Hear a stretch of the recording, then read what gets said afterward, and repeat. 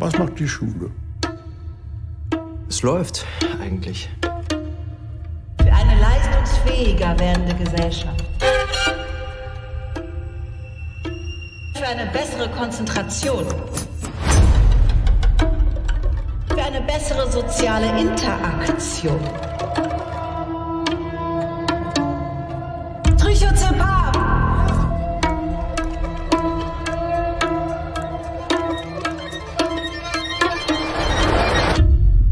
Ihr haltet mich für verrückt, oder?